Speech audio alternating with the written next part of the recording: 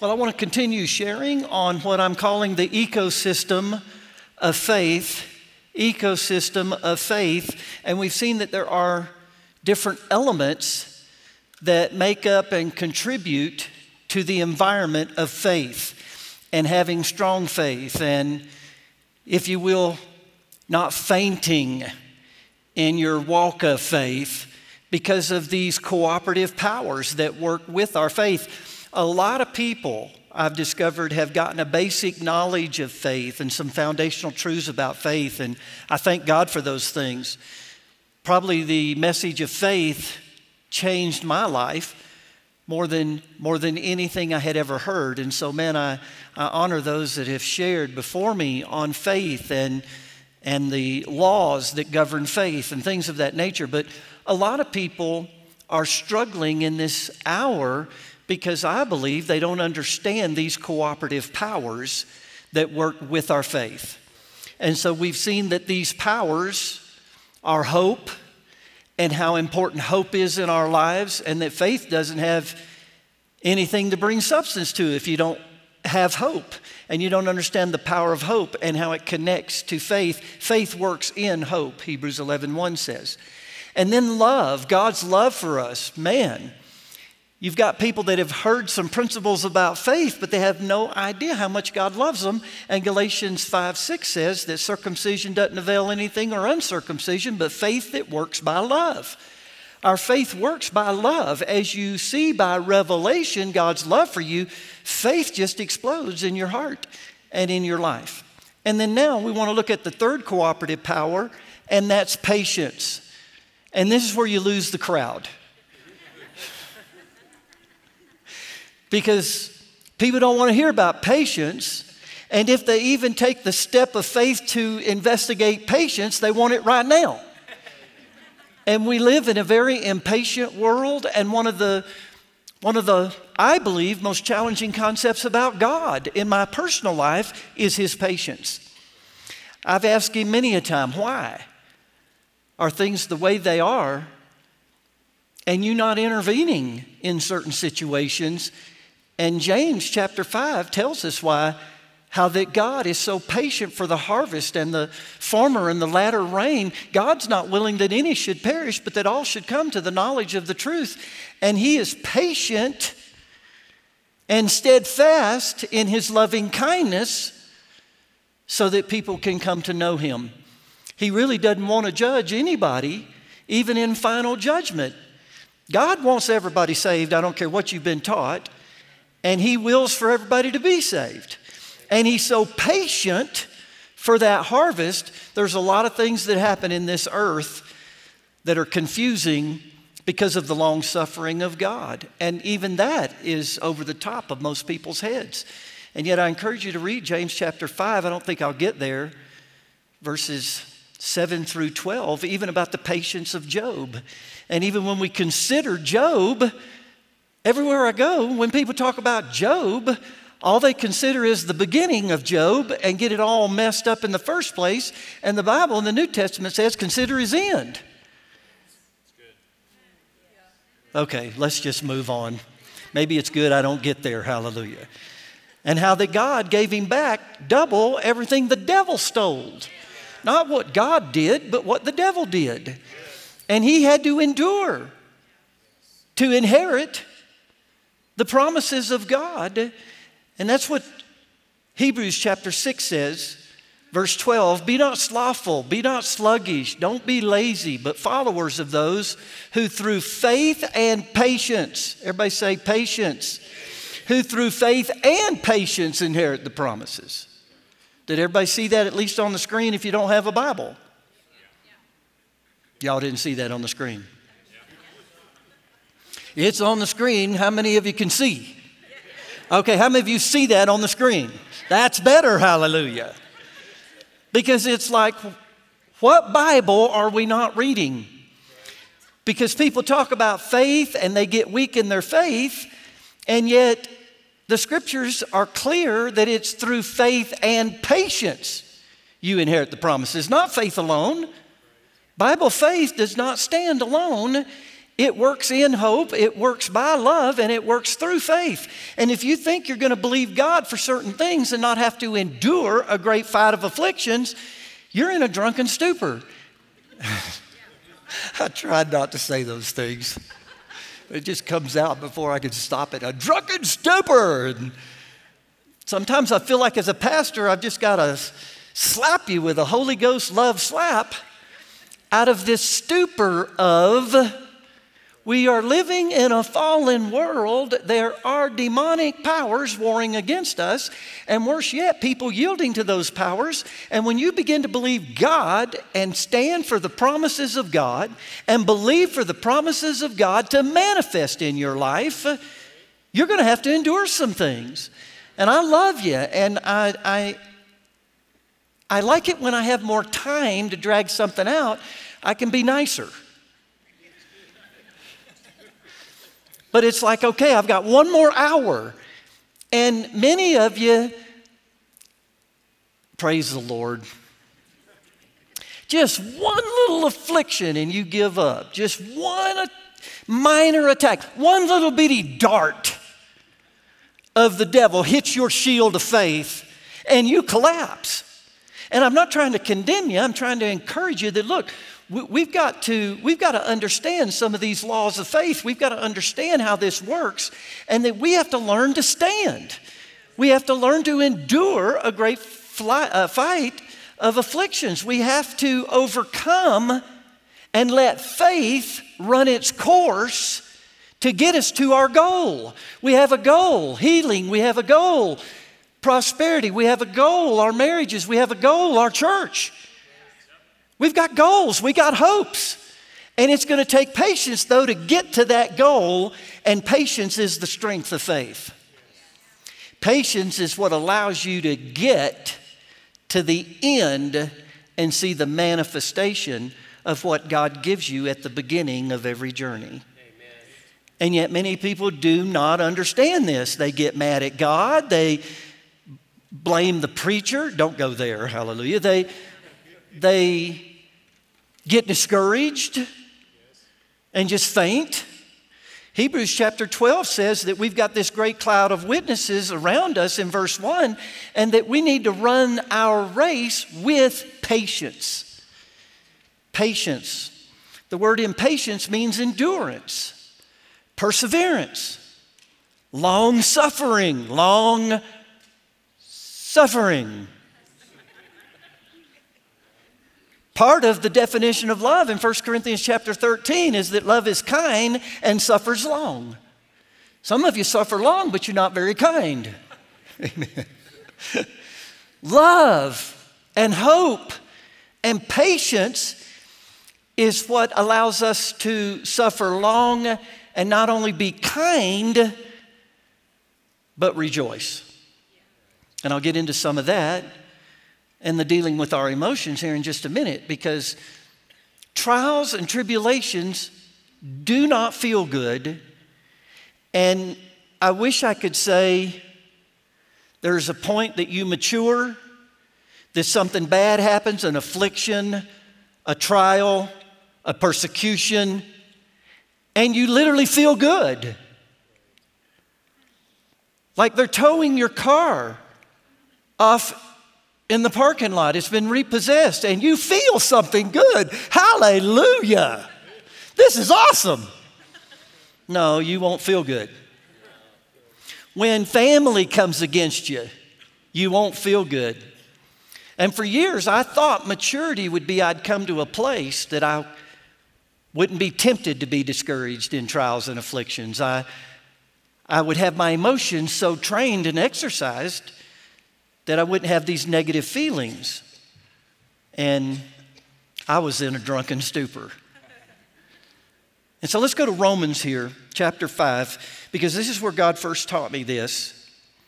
And all three of these elements are revealed in Romans chapter 5, verses 1 through 5.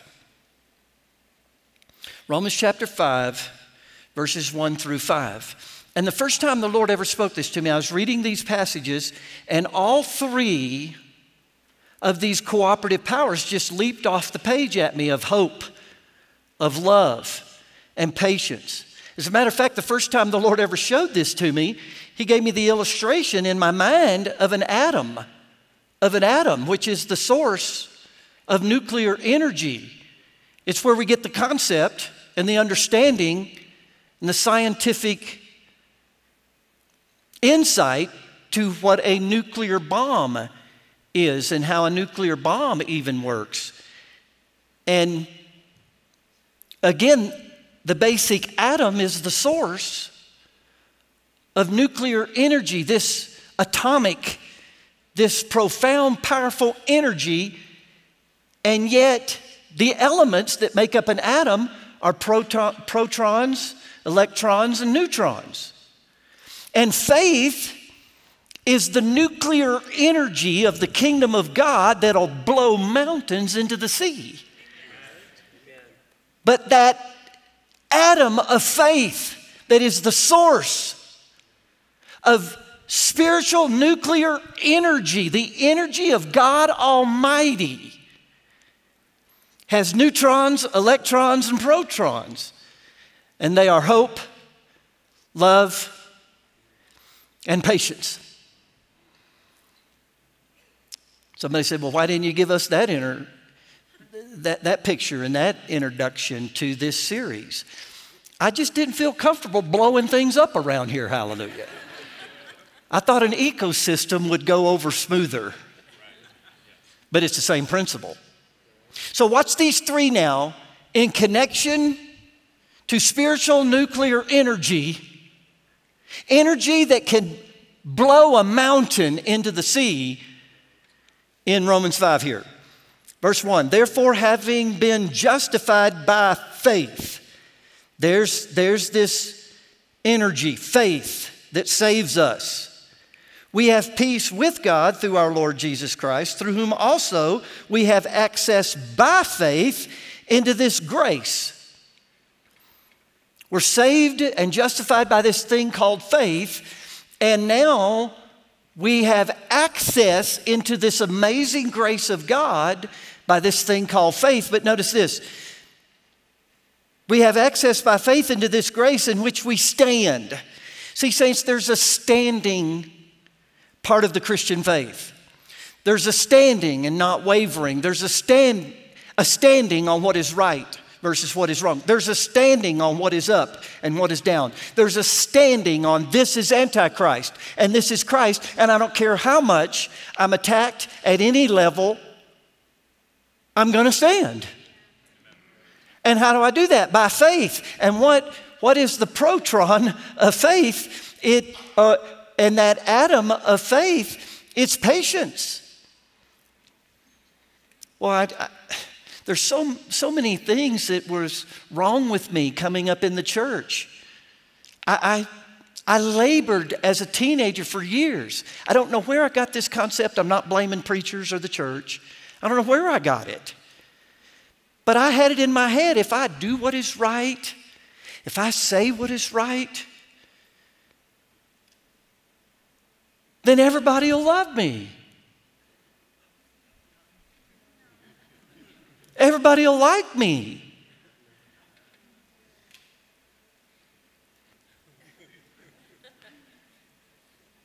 Y'all didn't grow up in that, that drunken stupor? And I'll never forget, this is, this is embarrassing, but I remember the Lord speaking to me that He did everything right. He was love, God made flesh. You wanna know what love looks like? You look at Jesus. He was love.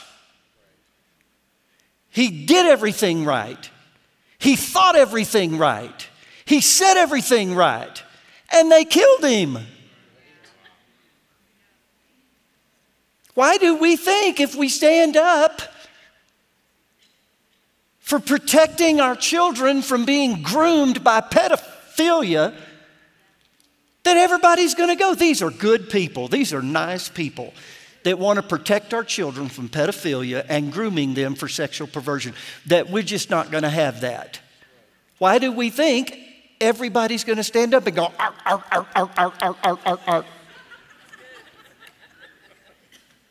No, they'll, they'll picket our church. Amen. Praise God. I need to keep going. Now, watch this. By faith into this grace in which we stand and rejoice in what? Hope of the glory of God. And not only that, but we saw we also glory in tribulations. Hold the press.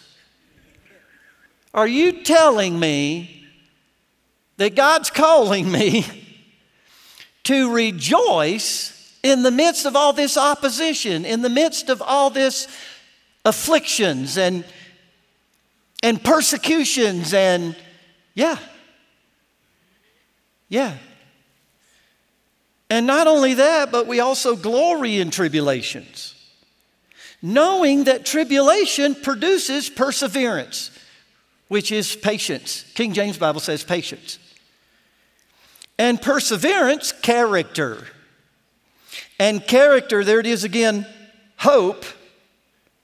Now, hope does not disappoint because, uh oh, there's the electron.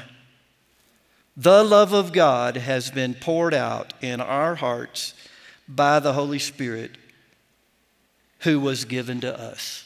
So you've got hope, you've got tribulation, and you've got love. And these are the cooperative powers that give you the faith to stand and give you the power from heaven itself to remove mountains in your lives. So we have to be schooled, we have to be taught, we have to be educated in the hope of the gospel and how the gospel gives us hope.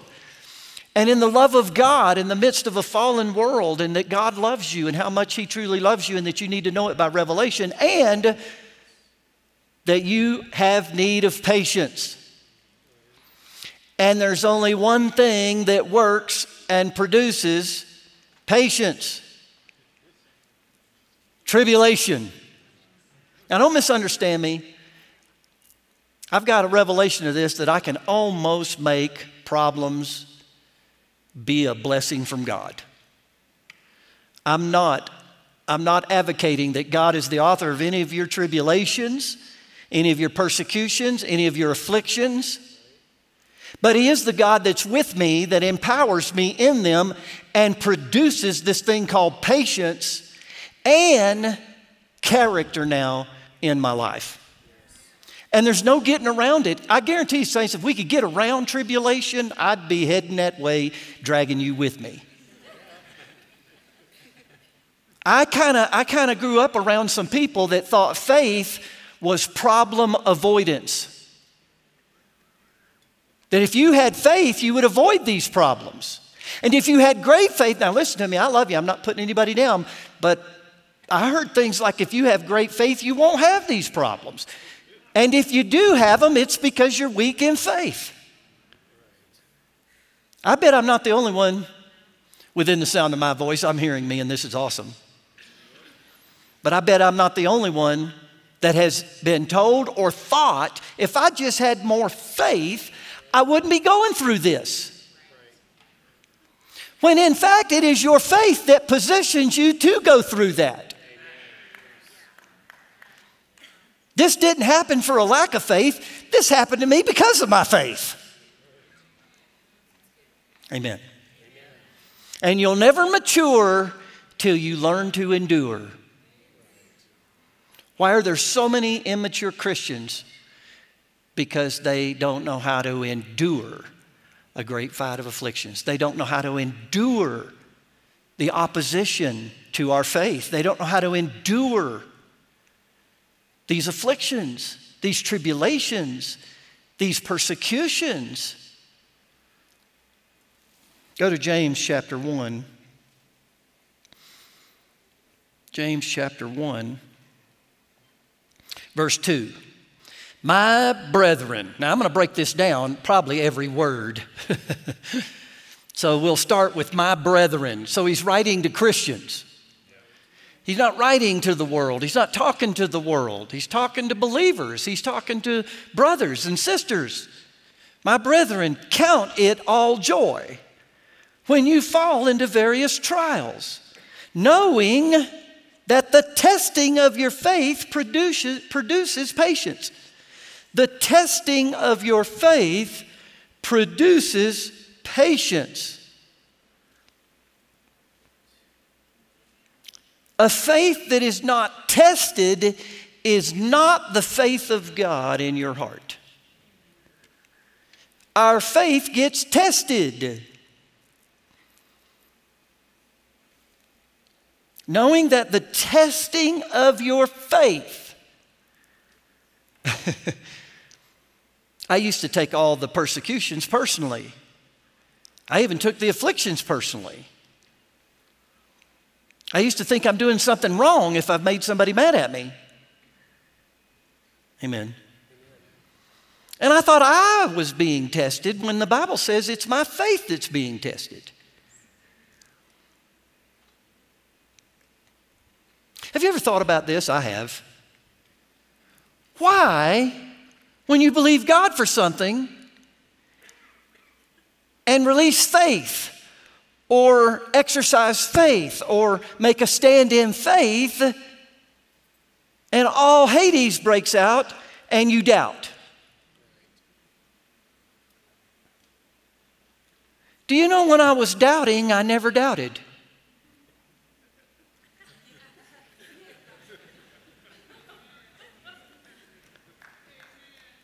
Where are you? I hear a real clap, not a welfare clap. I have never doubted when I'm doubting. I have never, ever to this day doubted till I believed. I got to a point I started shouting every time I doubted because that means I'm believing. Because I didn't doubt when I was doubting. I'm doubting because I'm believing. My faith is being tested. You doubt because your faith comes under trial. And you have to learn to not doubt, to believe only. And that takes time, it takes patience. And that trial is producing, it's developing patience. This is really cool. But let patience have its perfect work, that you may be perfect or mature and complete, lacking nothing. Oh my goodness. That just excites me. My trial doesn't excite me, but where God's taking me excites me. My problem does not make me feel good, but boy, I have a joy unspeakable and full of glory in my heart and a thanksgiving, the sound and voice of faith coming out of my heart. I'm headed somewhere and I'm going to ship the devil's saddle home in Jesus' name. I'm going to put a hurting on him. I'm going to put a hurting, put a hurting on him. Let's go back. My brethren, count it all joy. Count it all joy.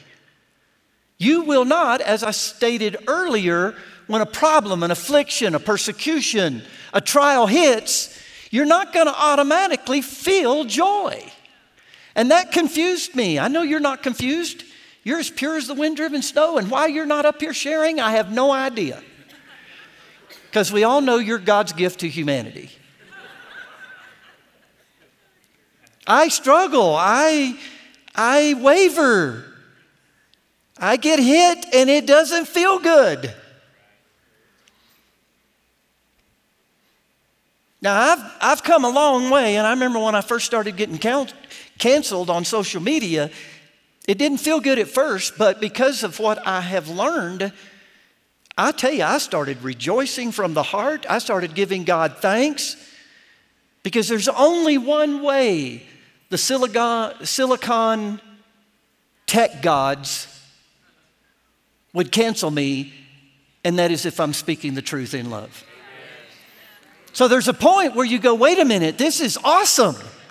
It doesn't feel good. But I count it all joy because they would never cancel me if, if, if I'm carrying the world's narrative. They would celebrate me. Amen. Well, I could say a lot and cause a nuclear bomb. No, I'm, I've got to go right after this service and catch a plane, and I don't want to look out the window and see a mushroom cloud over this area.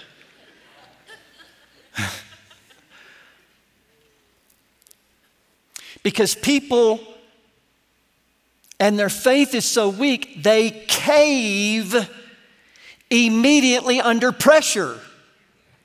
This is what patience is. Patience, listen, is perseverance under pressure. When there's no pressure, you're not patient. Patience doesn't kick in till there's pressure. Count it all joy. You're not always going to feel great serving Jesus. Not everybody, again, is going to celebrate you. If you love Jesus, if you're loyal to Jesus, if you're married to Jesus, people are married to politics, they're married to the woke movement, they're married to sexual perversion, they're married. And so when I bring these things up, I, to them, are attacking their spouses. But I don't know who you're married to, but I'm married to Jesus, hallelujah. I've been a spouse to the Lord, a virgin in love for Jesus and with Jesus. And if they hated him, they will hate you. In this world, you shall suffer persecution, tribulation, but be of good cheer, I've overcome the world. Man, I'll, I'll be honest with you again. I used to read that. In this world you shall, not maybe so, not, you never know. You shall suffer tribulation, but be of good cheer. I've overcome the world. and I'd read that and I'd go, Well, good for you, Jesus. I'm happy for you. Amen. But what about me? I know you've never thought like that. But how many of you know his victory over the world was your victory over the world? You have an identification with him now that you are no longer a victim, but you are a victor. Welcome to Victory Life. Welcome to a life of victory. I will not allow anyone to poison my children or grandchildren and condemn them and falsely accuse them or train them in school to be a victim. None of us are a victim except of our ignorance, our laziness, and our poor life choices. Otherwise, if you know Jesus, I don't care what color you are, I don't care how much money you have or don't have, I don't care what side of the tracks you were born on, I don't care if you was conceived in the back of a 56 Chevy, God Almighty has made you more than a conqueror through him and his love for you. You can either accept that as God's word and faith come, or you can believe the ungodly, fraudulent, deceptive words of this world. And it produce fear in you, and worry in you, and guilt in you, and on and on it goes. You count it all joy when you fall into uh, various trials. Now, look at this, this is important. Knowing that the testing of your faith produces patience. You can only count it all joy when you know something, not feel something. He didn't say count it all joy because I am going to take your emotions and I'm going to breathe on them and chicken skin's going to be all over you with every problem you face. No, he says, you better learn to count it all joy, knowing something, not feeling something. The only way this can be real, and, and trust me, we have some issues in church culture with being real. A lot of people have some issues with so called faith and being real. How is this really real? Count it all joy. How can it really be real to really do it? That this pains me, this hurts me. How can it be real for me to count it all joy? I got to know something. And listen, if I don't know something, I'll never be able to count it all joy. What do I have to know?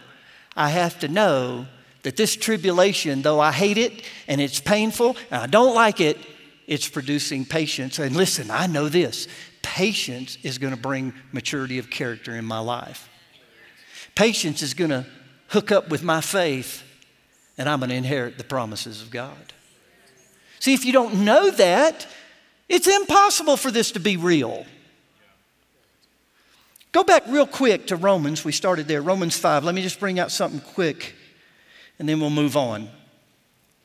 Same exact terminology that Paul used and James used. Romans 5, verse 1 Therefore, having been justified by faith, we have peace with God through our Lord Jesus Christ, through whom also we have access by faith into this grace in which we stand and rejoice in hope of the glory of God. And not only that, but we also glory, rejoice, count it all joy, in tribulation. Look at this, knowing that tribulation produces patience. We count it all joy. We in everything give thanks, for this is the will of God in Christ Jesus concerning you. And the way it's real is we know something, not feel something.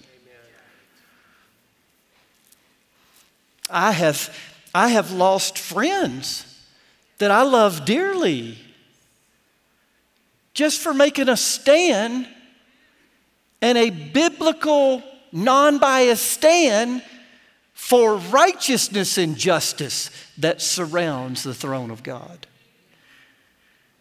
What people call justice today is a perversion, just like what they call love is a perversion. The same people that don't know what love is and have perverted love have perverted justice. And they do evil in the name of justice. They hate in the name of justice. They burn cities down in the name of justice. And me simply bringing out the word that God's justice is pure, God's justice is non biased, God's justice is executed in righteousness, what is right. And I've lost friends over quoting the Bible to deal with okay, what is justice? I've lost friends of well, what is equity? You got these, thank you, Jesus, for slapping my tongue. You got these, I'm not having a senior moment, I'm trying to say this nice. You, you, have got these people that have no God sense. They have no common sense. Talking about equity. And when you listen to it, it is so unequitable, anybody born again ought to be able to see that's not equity. And we're not all equal. Uh oh. I think I'm losing some more friends.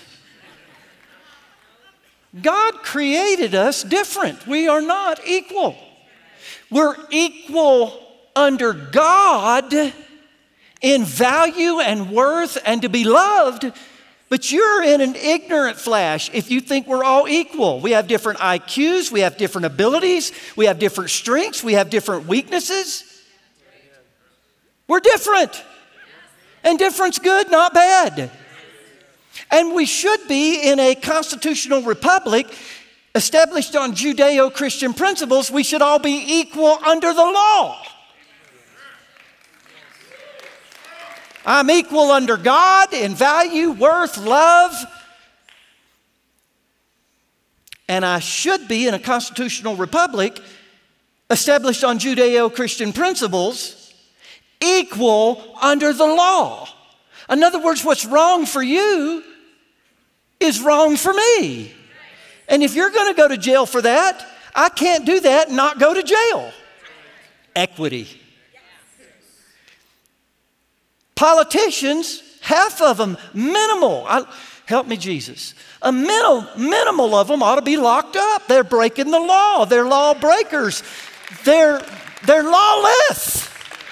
And they do things that if you and I did it, we'd go to jail. We're not equal under the law, and we're devolving into a nation that doesn't even believe we're under God, so there won't be any equality under God either. And we'll self destruct. Sin will kill us. Hallelujah. Where was I before I got on track? What was I talking about? That's exactly. I was testing you. I knew where I was. Tribulation, you won't be able to count it all joy if you don't know something. What are we to know? This is working patience. I don't like it, it doesn't feel good, but it is producing patience, and patience is with faith going to mature me, and I'll be a person of integrity, I'll be a person of character, I'll be a person of equity, I'll be a person of justice. Amen. I'll do just and follow justice. Praise the Lord. I grew up under the misnomer of tribulation is what perfects us. Saints, if tribulation perfected us, I'd be looking at the epitome of perfection. You better laugh, Brian. I know some of your, your stuff. John, you better laugh too. Didn't mean to call any names. I didn't call your last name, so.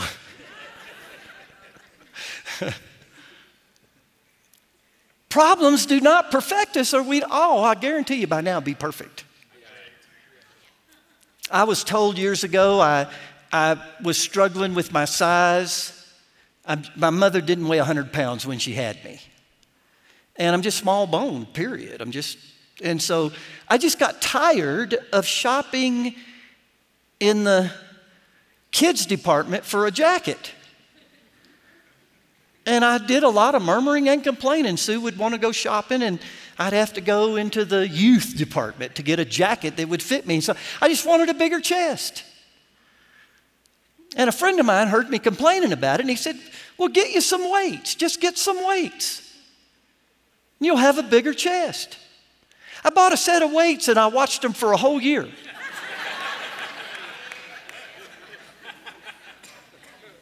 and I didn't go from a 40 to a 41 or a 42. How many of you know weights will not build your muscles? Let it sink in. Weights will not build your muscles. You have to resist, submit. Resist, submit. Resist, submit. How many of you know the same book of James, chapter 4, verse 7 says, Submit to God, resist the devil. Submit to God, resist the devil. Submit to God, resist the devil. It's faith and patience that builds your spiritual muscles, not your problems. Hallelujah. Go to, go to 2 Corinthians chapter 4. Powerful chapter. Wish we could go over more than I'm able to right now. But every one of us have to learn to submit to God, resist the devil. And it's in these problems, trials, afflictions, persecutions, listen, we're submitting to Jesus, resisting the devil, and patience is being produced. Spiritual muscles are being developed. Now, I know that's not good news to your flesh. You'd rather me lie to you. Some of you, you, you love being lied to. Well, how do you know that? Because you watch the six o'clock news every day. You want the preacher to tell you you're not going to have any problems in your marriage because God put you together. Just lies upon lies upon lies. And the bottom line is, saints, there's a war between heaven and hell, and we're caught in the middle of it. There's a war going on between Christ and Antichrist, and we're caught in the middle. And God's saying, I will reward you for any suffering, Christian suffering. I will reward you in the kingdom to come for any stand you make and you suffered. Blessed are they that are persecuted for righteousness' sake, for theirs is the kingdom of God. There's blessings that you'll receive in this life in maturity of character, and there's blessings in the life to come for any suffering, any wrongdoing you've gone through that hurt you, hurt your family. God sees that, and rewards are coming for you standing, and after doing all to stand, you stand there. And don't stand there naked, get dressed in the armor of God. Some of, I, some of you, I love you, but you're charging hell with a water pistol naked. You are worse than a streaker trying to defeat the devil in your life because you don't even know there's an armor. You don't know how to put it on. You don't know how to have your loins girt about with truth. You haven't even sold out to the truth. You're not willing to be rejected for the truth.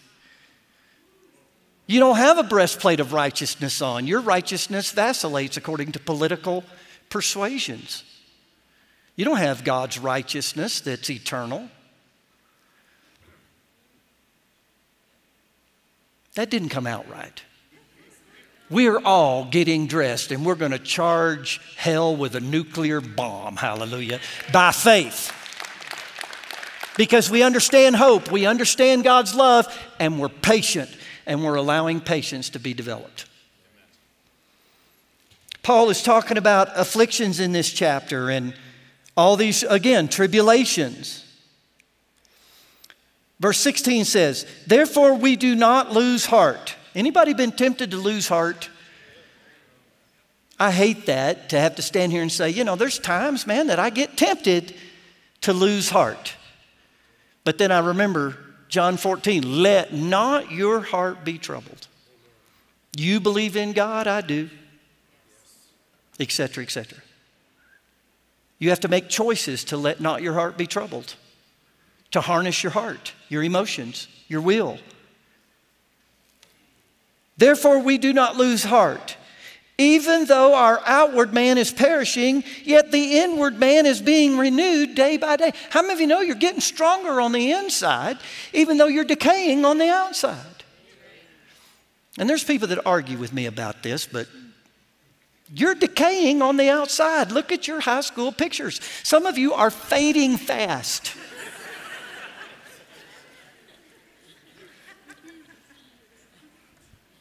Thank God I'm running out of time.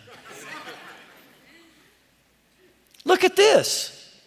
For our light affliction, which is but for a moment, is working for us a far more exceeding and eternal way to glory. All these light afflictions, they're working something that's an exceeding eternal part of God's glory in your life. This really is good news, man. It's, it sounds kind of negative that But it really, if you're listening, this is good news. This is every problem I'm going through when I submit to God, resist the devil. Something on the inside is growing and multiplying, even though my outside is decaying. And this is interesting. I wish I had more time on this for sure. Paul said, Our light afflictions, our. He called what he went through light afflictions. Some of you've read the Bible. Some of you've read 2 Corinthians chapter 10 or 11. It's one of those. It's 11. 2 Corinthians 10 11, where he lists all of his light afflictions. Beat three times with rods, right up to death death's door three times, shipwrecked, a day and a night in the deep. And I'm telling you, I just about would rather take anything but a day and a night in the ocean. Dum dum. Mean, that'd be torment, man. There's stuff out there that'll eat you, hallelujah. Gets on an island and gets snake bit. He goes to jail multiple times. I don't know what's wrong with this. What Bible are we not reading? He, he, he goes to jail, innocent. He's innocent and imprisoned often. And he calls these light afflictions. He was stoned and left for dead. I'm talking about stoned. I'm not talking about what some of you have been stoned and left for dead by your friends. I'm talking about stoned. I've got some friends that were stoned and left for dead, so I didn't mean that towards you. it's like, do we picture this? Stoned to the point they think you're dead. And I read that stuff and I go, ah, my afflictions are super duper light afflictions. Right? But listen to everybody, even in the church, falling apart about some affliction, some wrong that we've been done.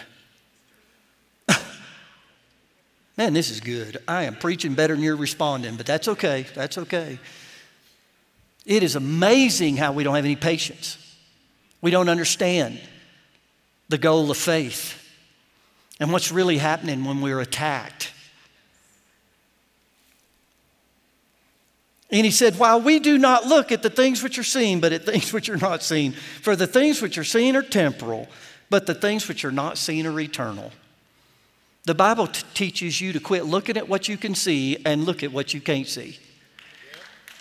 Thank you. Y'all are so much further than I used to be. Because I used, my head would just spin because I don't know how you read the Bible, but I read it and I want to be obedient. I want, I want faith obedience. I want to understand it and I want to act on it because my faith without works is dead. And God's telling me, quit looking at what I can see. Okay, now look at what you can't see.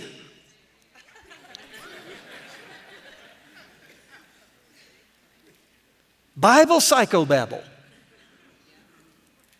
And yet, how many Christians are looking more at what is so temporal and we see versus looking at what we can't see the eternal promises and blessings and kingdom of God? You can't see God's kingdom with these eyes, but you can see it with the eyes of your heart. And the kingdom of God is suffering violence, but the violent take it by force. I'm, I'm, gosh, I had so many other things, but let me quickly just give a quick testimony and let you go. Um, I was doing a decade of marriage seminars, at least two a year for a season, because God spoke to me about our homes. And He spoke to me about building a church and how to do that by building families. That's why, make no mistake about it, the attack on marriage is demonic because you can't have strong churches that impact cities and counties if you don't have strong families. And so the assault on the family and marriage and the nuclear family is by design, not by accident. So I was ministering on marriage. Well, I had to teach on romance and sex, which I'm not real comfortable with, which should be understandable by anyone within the sound of my voice. It just, it's just difficult. And so I was teaching on romance, and then I thought, well, you know, I've got to act on some of this. I need to act on the romance side of my teaching better, and Sue needs to act on the sex side. so we both need to walk by faith. And so I need to work on this romance thing. And so And so I got the bright idea that I'm going to build Sue a fireplace in our bedroom because she loves fireplaces. And how many of you know, guys, you can witness to this. When you cut a hole in the roof, you're serious. this is serious. So I cut a hole in the roof.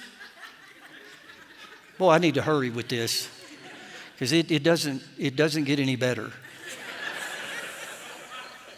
And so I bought this small little fireplace for this tiny little bedroom we lived in.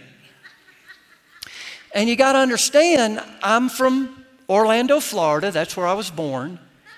And I didn't know what winter was. I didn't know what a fireplace was. I had never heard of a pre soaked log. Now, up here, everybody probably knows what a pre soaked log is. So I get this little bitty fireplace in this little bitty bedroom, and I buy some pre soaked logs. And they were three pounds. And so I put a three pound pre soaked log into the fireplace and lit it. But this is the night of romance. I'm expecting a big time payoff.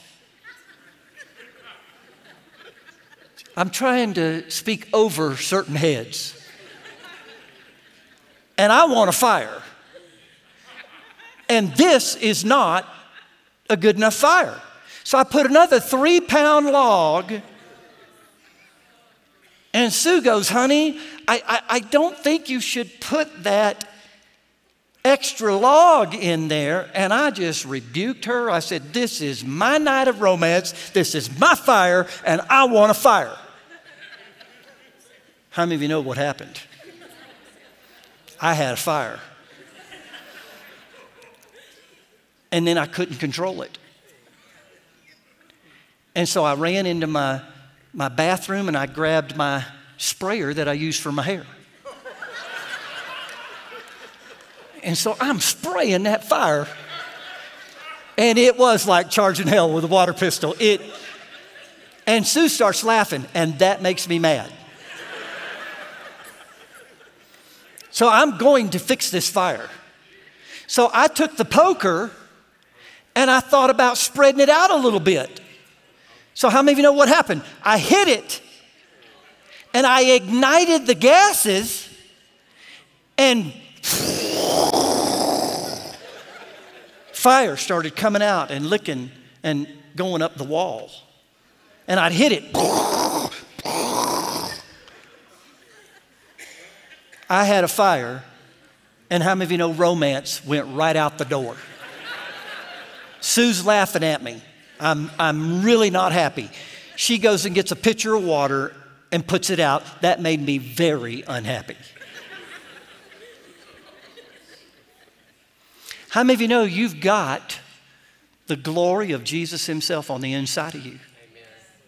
Listen, and when the devil strikes you with afflictions and trials and persecutions and opposition, in his ignorance, he strikes you and ignites the glory of God on the inside of you that starts to come out of you that makes you effective in this world. Exodus chapter 1, verse 12 says, The more that Pharaoh afflicted the children of Israel, they multiplied and grew. The biggest mistake that has ever happened by demonic powers and Satan himself on this planet was they struck Jesus on the cross. And in their ignorance, thought they had struck him with the blow of death. But how many of you know all they did was ignite the glory of God to fill the earth? And we are carriers now of that glory. I want to encourage you the next time trouble hits, stop for a minute and think about what's really happening. And you'll be able to count it all joy. Amen. Did anybody get anything today? Hallelujah. Thank you, God.